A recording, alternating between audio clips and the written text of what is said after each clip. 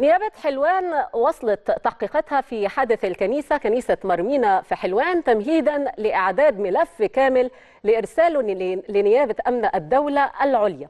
التقارير المبدئية للأدلة الجنائية كشفت عن إطلاق المتهم إبراهيم إسماعيل 150 رصاصة نارية. أسفرت عن استشهاد أمين شرطة وتسعة من الأهالي.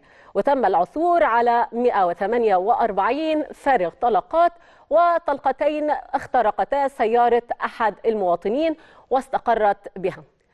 في نفس الوقت وزير الصحة الدكتور أحمد عماد الدين راضي أكد استقرار الحالة الصحية لكل المصابين في الحادث وأعلن عن رفع درجة الاستعداد في المستشفيات العامة والمركزية للدرجة القصوى.